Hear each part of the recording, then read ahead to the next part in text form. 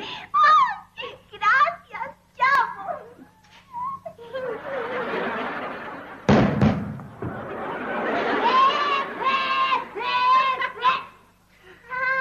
¡Vámonos!